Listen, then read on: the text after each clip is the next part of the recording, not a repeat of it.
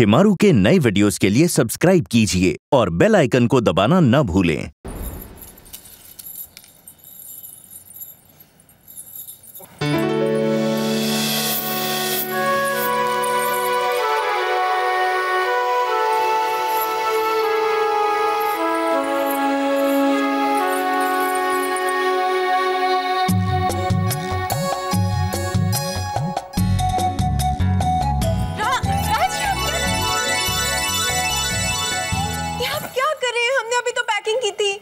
Packing. ये सब साड़ी सलवार कमीज ये सब आप वहाँ नहीं पहनेंगी। तो हम क्या पहनेंगे? अरे अपनी डिज़ाइनर कलेक्शन को भी थोड़ी हवा लगने दीजिए। ये जीन्स ये टॉप्स ये सब पैक करो। लेकिन राज ये सब हम मैं जानता हूँ। अब आप कहेंगे कि राज ये सब अब हम कहाँ पहनते हैं? अरे मुझे भी तो देखने दो कि इन ड्रेसेस में मेरी रानी कितनी हॉट लगती है।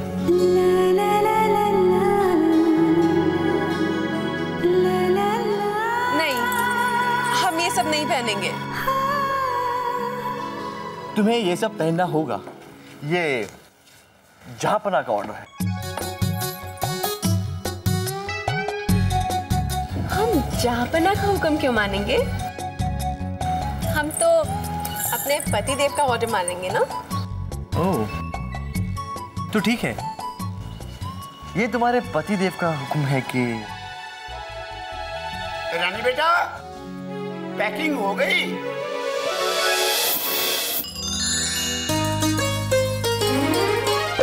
सीपी में मोती सी, मंदिर में ज्योति सी, चंदन की खुशबू बसी है सांसों में, वो रहने वाली महलों की।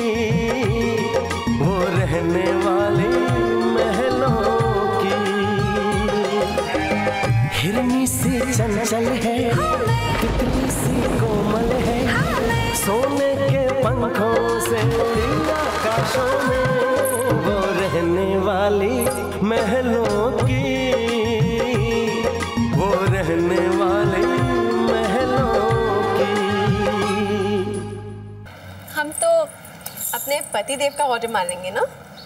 ओ, तो ठीक है। तुम्हारे पति देव का हुक्म है कि रानी बेटा पैकिंग हो गई। जी पापा ऑलमोस्ट हो गई है। ये भी रख ले। बेटा ये पेट दर्द की दवा है इसे रख ले। ये बाहर जा रहे हो खाना पीना तो बाहर हो गई और पेट। पापा इसकी क्या ज़रूरत है? तू चुप रह।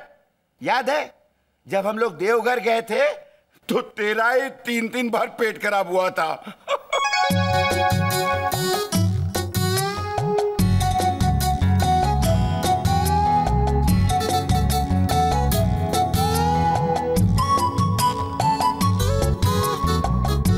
तुझे इन दवाइयों की ज़रूरत पड़ी थी।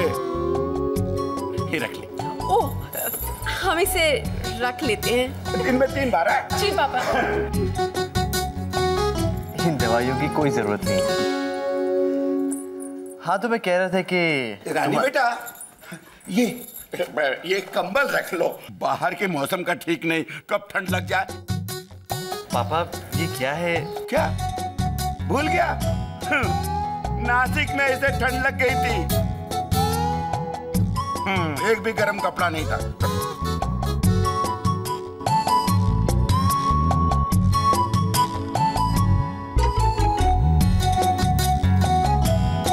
अभी दवाई अभी कंबल आ चुका। अब तेल की बारी। है रानी बेटा।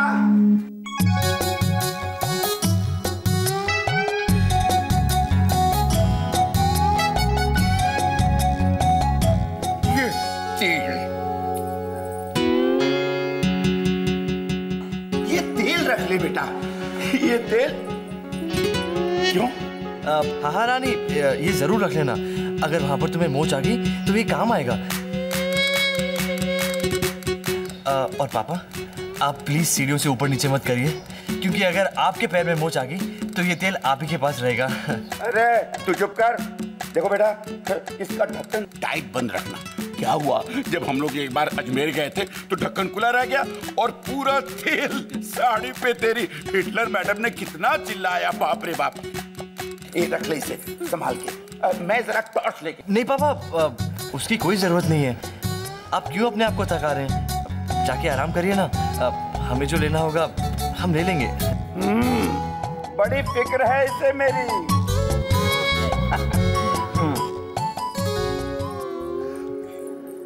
पापा का बस जले तो घर में जो भी सामान है सब बाँध कर दे दें। रानी जाने से पहले मैं कुछ बातें क्लियर करना चाहता हूँ। कैसी बातें? यही कि वहाँ जाकर अगर तुम अपनी बहनों के साथ इतना खो गई कि मेरे लिए वक्त नहीं मिला तो तो? तो मैं तुम्हें गोदी में उठाकर कमरे में ले जाऊँगा।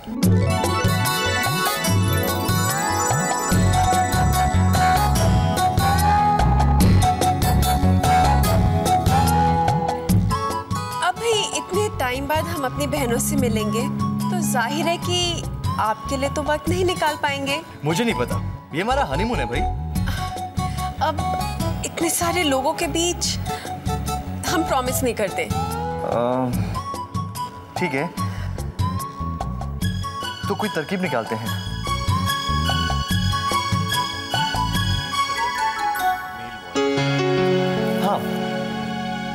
अगर तुम मैं तुम्हें कुछ इशारे करूँ जैसे खांसूं। तो समझ लेना कि मैं तुम्हें अपने पास बुला रहा हूँ।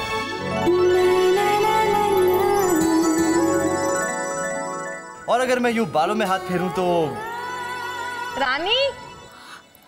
आई मम्मी।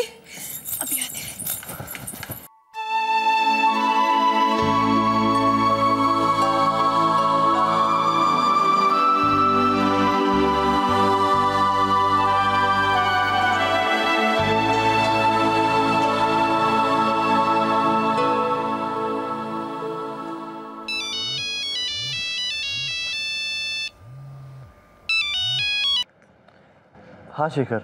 एक अच्छी खबर है। चीज़ में इंटरव्यू के लिए चले जाना। मेरी उनसे बात हो गई है। यार कल तो मैं वहाँ नहीं जा पाऊँगा। नहीं जा पाएगा? लेकिन क्यों? यार एक्चुअली मैं रानी और उसकी फैमिली सारे आउट ऑफ़ टाउन जा रहे हैं। और रानी की बहनों ने प्रोग्राम बनाया है। रानी बहुत खुश है। और इस वक्त मैं उसे नौकरी की बात नहीं बताना चाहता। मैं उसकी खुशियाँ नहीं बर्बाद करना चाहता यार। लेकिन राज तेरे पास पैसे हैं? दो ढाई हज़ार रुपये है मेरे पास। उसी में रानी की खुशियों को पूरा करने की कोशिश करूँगा। वो बेचारी वैसे भी कहाँ कुछ ज़्यादा मांगती है। लेकिन नौकरी की तलाश अब मैं वापस आने के बाद ही करूँगा। ओके अरे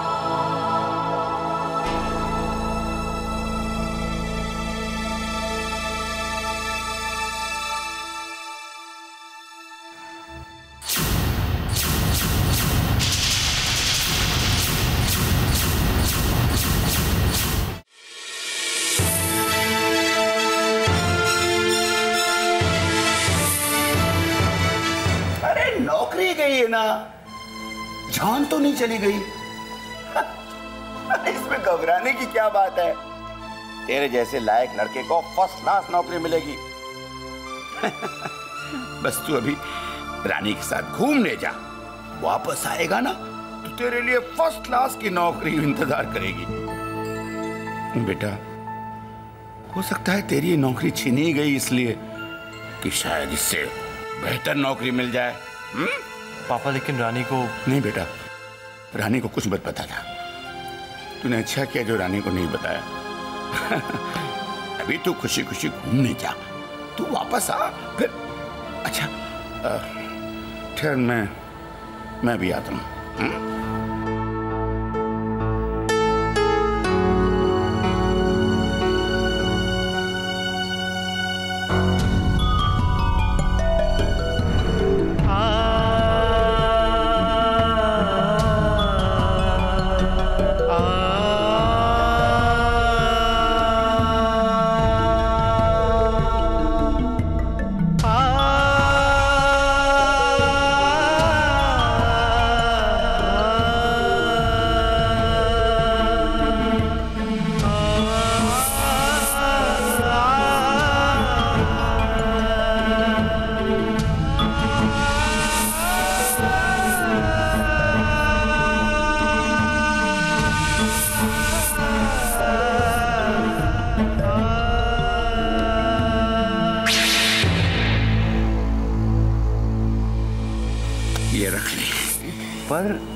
बार बार कुछ नहीं। मैंने कहा रख ले तो रख ले। अरे बाप तेरा। सुन मैंने जो सब सामान दिया था वो सब तो तूने निकाल दिया। लेकिन इससे हम्म, नहीं। मैंने जो तुझे ये सब दिया है जब तुझे इससे भी ऊँची तनख्वाह वाली नौकरी मिलेगी ना? तब तुझसे वापस लूँगा। और क्यों ना लू? बापू तेरा। बस, अभी हँसते हुए जा और खुशी खुशी वापस आ रानी के साथ। समझा? क्या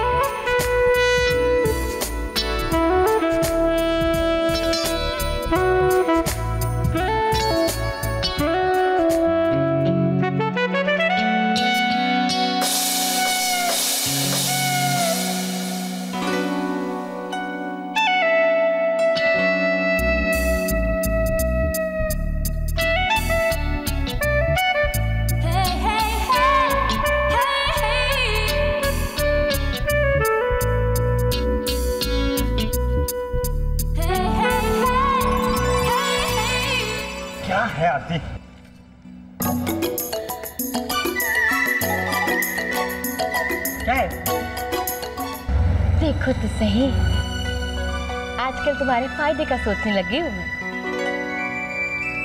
इस पेपर में ऐसा क्या है फ़ायदे का हाँ? अरे पढ़ो ना। आरती आरती आरती। इसमें गोवा का पैकेज है। दो दिन तीन रातें। एक हज़ार तीन सौ तैतीस रुपए। पता है? नाश्ता और खाना रात का फ्री गुड कौन जा रहा है हम जा रहे हैं? रुको ना तुम्हारा प्रमोशन भी तो हो गया है। हनीमून के लिए हम सिर्फ़ दो दिन ही खंडाला गए थे। बोलो ना गोवा चलो ना आरती आरती आरती प्रमोशन हो गया लेकिन काम भी तो बढ़ गया है ना? वही तो मैं कह रही हूँ काम बढ़ गया तो क्या हुआ सैलरी भी तो बढ़ी है। और वैसे भी शनिवार और इतवार छुट्टी रहती है। सुनो ना प्लीज़ प्लीज़ देखो आरती आरती प्लीज़ समझने की कोशिश करो। अभी हमें पैसा बचाना है हाँ? जोड़ना है। अरे सलोनी की शादी सर पर है। ना जाने घर में कौन सा खर्चा आ जाए। ये ऐसे फिजूल खर्चे करने की कोई ज़रूरत नहीं है। ये फिजूल खर्चे हैं? हाँ? सारी जिम्मेदारियाँ तुम ही निभाओ। सारे खर्चों के बारे में तुम ही सोचो। और वो जो घूमने गए हैं तुमसे तो कम ही कमाते हैं। लेकिन ऐश तुमसे ज़्यादा करते हैं। अच्छा अब समझा हम्म? ये गोवा जाने का आइडिया तुम्हारे दिमाग में राज और रानी की वजह से आया है। ये कीड़ा इसी वजह से आया है ना? कीड़ा नहीं है। ये मेरे दिल की बात है। क्यों? मुझे खुश रहने का अधिकार नहीं है। बोलो ना बोलो बोलो बोलो प्लीज़ बोलो बोलो ना। हाँ वो सच कहूँ वो बुरा तो मुझे भी लगा था ये सुनकर कि राज और रानी घूमने जा रहे हैं। लेकिन माँ भी ठीक कह रही थी। अभी अभी रानी जेल से बस बस। बस हाँ, बस बहुत हो गया तुम्हारा ये जेल का पुराण तुम्हारा और तुम्हारी माँ का। अरे मैं पूछती हूँ, जरा मुझे बताओ, ऐसा कौन सा बड़ा तीर मार लिया उसने जो सब उसकी तारीफ़ कर रहे सनौली को बचाने के लिए सिर्फ़ झूठ बोला है ना, अपनी ज़ुबान बंद रखी है ना? देखो, मुझे बताओ। नहीं, मुझे बताओ तुम। अगर मुझे ये बात पता होती तो मैं भी अपनी जबान चुप नहीं रखती। नहीं मतलब भाभी होने का फ़र्ज़ अदा करती या नहीं? बोलो ना तुम, बोलो।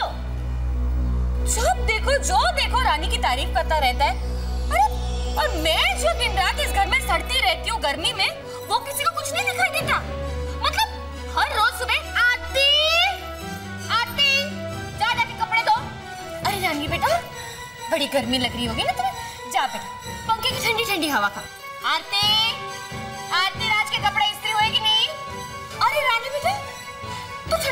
ठंडा दूध ले आरती रानी के लिए ठंडा दूध लेके आ आरती खाना बना। भूख लगे। रानी बेटा थक गई होगी ना? जा बेटा जा। कहीं घूम के आना। हाँ बस। रानी घूमने जाएगी और आरती घर में सड़ती रहेगी पिसती रहेगी। किसी को कुछ पड़ी नहीं है मेरे बारे में। अरे किसी को कुछ क्यों पड़ी होगी मेरे बारे में जब मेरे पति को ही नहीं पड़ी हो? देखो। अरे सब देखा देख ही रही हूँ। जब तुम्हें मेरे बारे में कुछ पड़ी नहीं है कोई और क्यों सोचेगा मेरे बारे में? तुम्हें प्रमोशन मिले या ना? बस, मैं यूँ ही पिसती रहूँगी, यूँ ही सड़ती रहूँगी। हे भगवान, अगले जन्म में मुझे रानी की किस्मत ज़रूर देना। और अगर नहीं देनी हो ना तो आज की रात ही आज की रात इस बस्तर से मुझे उठा लेना, बस हो गया। क्या रानी जा? जा?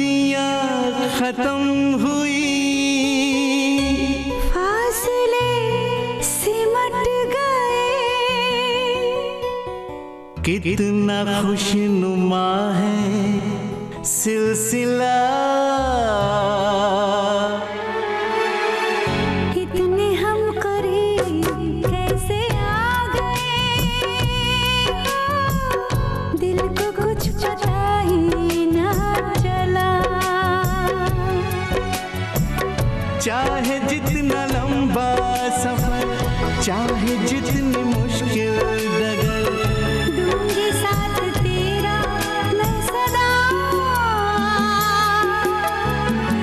इतने हम करीब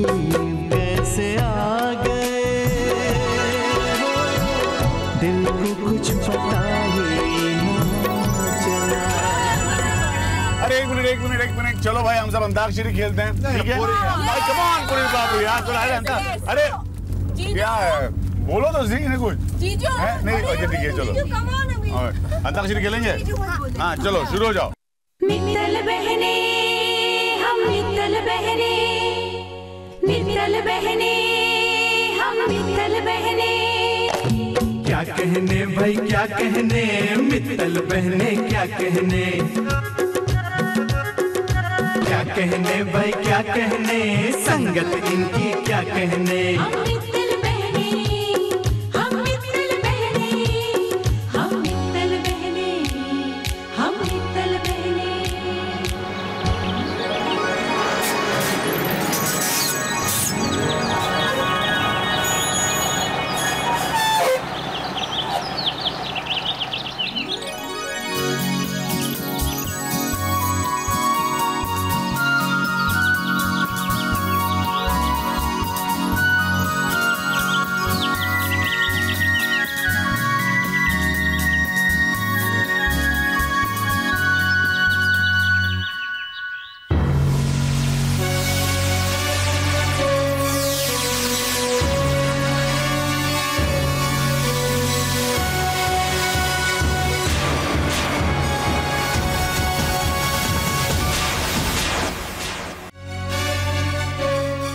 हो गया पुनीत बाबू यहाँ क्यों खड़े आप? यहाँ रहेंगे नचिकेत जीजू हाँ? You can't be joking come on कितना सुहाना मौसम है। अंदर तो चलिए वंडरफुल प्लेस कमन कमन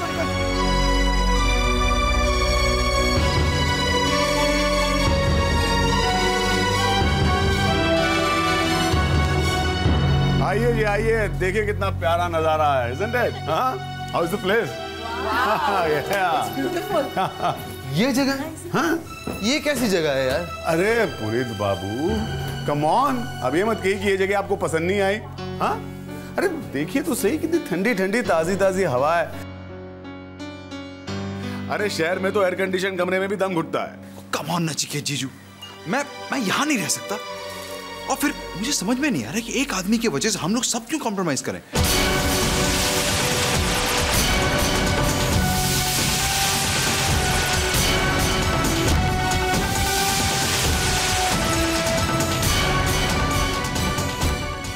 यहाँ पर एक अच्छा फाइव स्टार होटल है आई बुक ओवर देयर मेरे पास नंबर भी है। एक मिनट एक, एक मिनट। अरे फाइव स्टार में तो आप हमेशा ही रहते हैं हैं? ये छुट्टी जरा हम लोगों के साथ यहाँ कॉटेज में भी एंजॉय कीजिए। एंड आई गारंटी ज़िंदगी भर याद रखेंगे आप ये पिकनिक अरे इतना मज़ा करेंगे हम लोग। ओके जीजू अगर आप इंसिस्ट कर रहे हैं तो फाइन चला लेंगे अब एक दो दिन की बात है। चलो इस बहाने ये भी पता चल जाएगा कि मिडिल क्लास लाइफ होती कैसी।